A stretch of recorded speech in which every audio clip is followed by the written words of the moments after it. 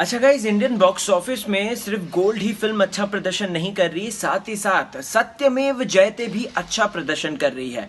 सत्यमेव जयते ने अपने पहले दिन, यानी कि दोस्तों फिफ्टींथ अगस्त को ह्यूज अमाउंट कलेक्ट किया। 15 अगस्त को जो अमाउंट कलेक्ट किया था दोस्तों, वो 20 करोड़ का था।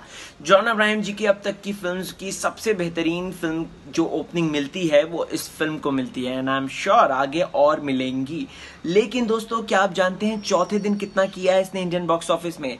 तो as per the reports box office India की जो रिपोर्ट्स आई हैं दोस्तों तो अप्रोक्सीमेट एट करोड़ का अमाउंट कलेक्ट किया है इंडियन बॉक्स ऑफ़िस पे अपने चौथे दिन, सत्यमेव जयते ने।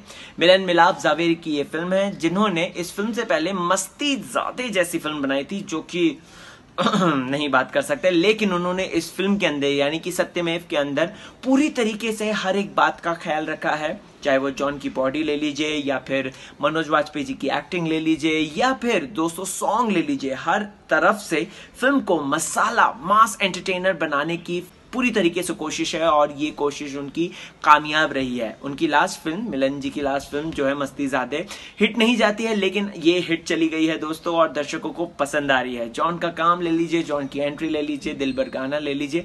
सभी मामलों में ये फ़िल्म है उमदा।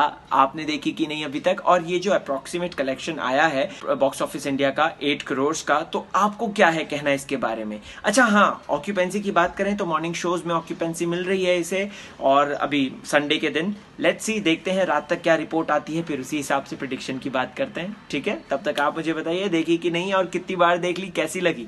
और इसी तरीके की अपडेट्स लाऊँगा मैं राहुल भोज आप लोगों के लिए। Take care